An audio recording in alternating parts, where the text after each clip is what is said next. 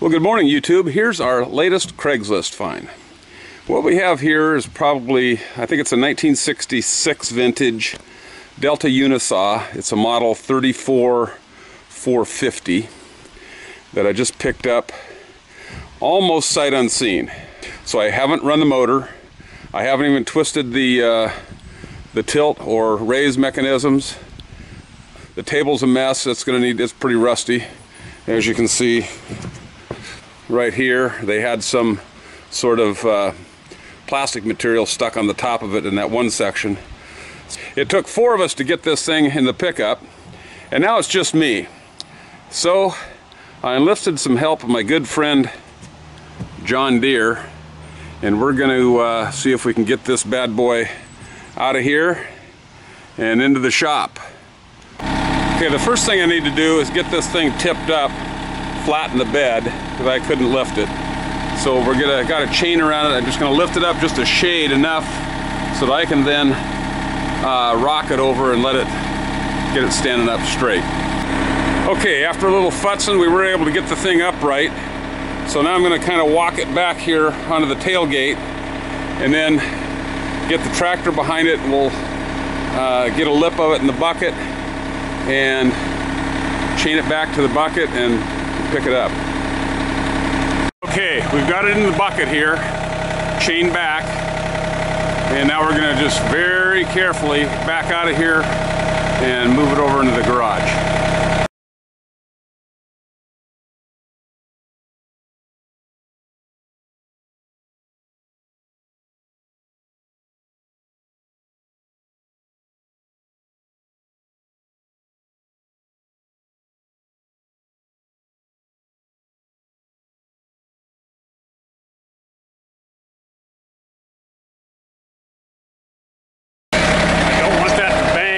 The floor, so I'm going to go up here. I think now I can just do this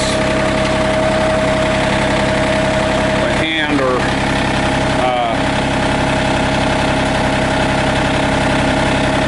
actually I think I can probably unchain it.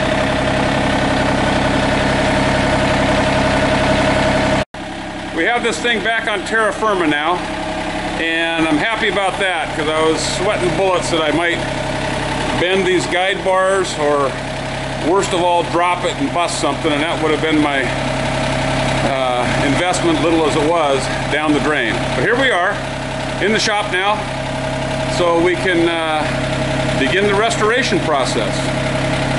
Okay first thing I found that I noticed when I saw this on Craigslist there was a some white junk right around here and I thought what the heck could that be?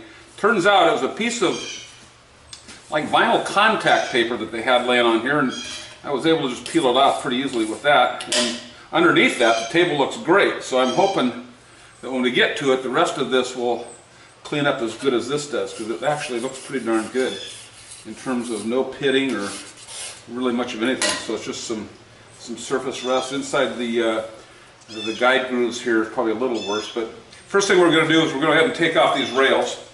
Got this for a good enough price that if uh, it'll probably leave me a little headroom for some parts if I need something along the way.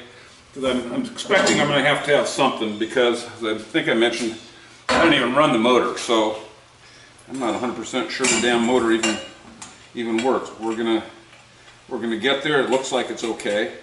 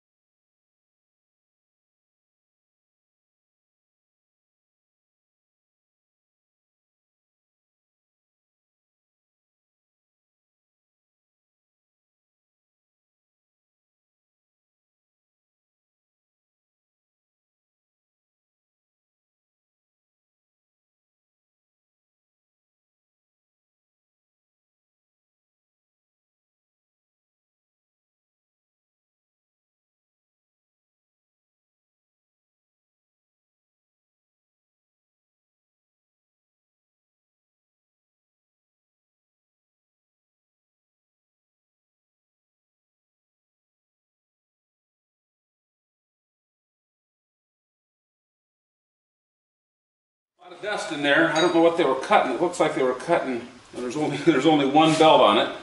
Okay, we probably lightened it up by 150, 200 pounds right there. Tilt works pretty good. Obviously needs to be cleaned up a little bit. Yeah, and the, the height adjustment's a little stuck, so we're gonna get there. Let's go ahead and take this blade off. Now that we've got 7 eighths here, see what we can do. This is a Craftsman blade. Looks like it has some carbide on it, but I think that is a throwaway. If that's the only thing I have to throw away over this thing, I'll be happy.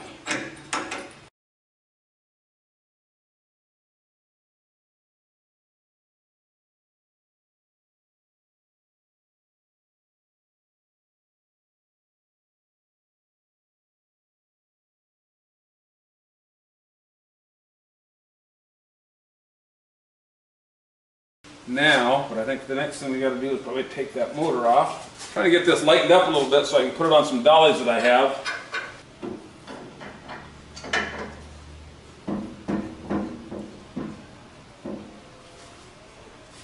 Get ready to take this arbor off, and there's a key that goes into this shaft right here. Got that key out and loosen up this pinch bolt here.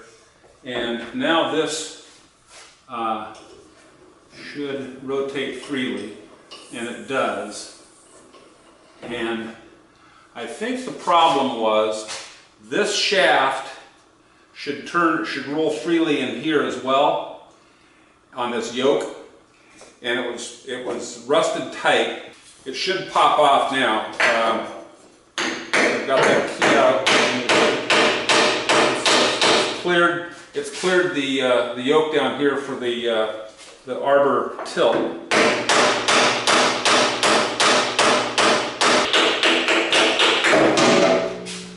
Okay, that's off. Now, one thing we now know we need to do is we've got to get this pin out um, because it's stuck in here. You can see it's pretty well rusted in here versus being smooth like this. So we have sprayed it. I sprayed a bunch of uh, PB Blaster on it and we're going to try to get that loose now, see if we can get that out of there. While we're waiting for the PB blaster to work on our shaft there, so we can get that freed up, we're going to go ahead and get started on cleaning the rust off of these uh, table, this table and the wings. And I'm basically just starting right now with uh, a Scotch-Brite pad and some kerosene to uh, just get that all the first layer of nasty rust off of there and get it uh, cleaned up a little bit before we actually move to something finer to really get it uh, shined up and, and cleaned good. Actually it's coming off pretty good. I'm going to take a little scrap of half-inch plywood and that will go right down over that and get into that groove pretty good. Get it nice and get the bottom and the sides with that Brillo pad.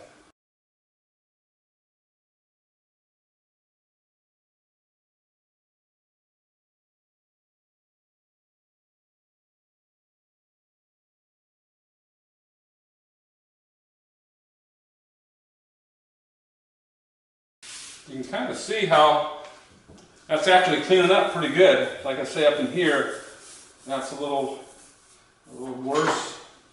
Over here isn't too awfully bad.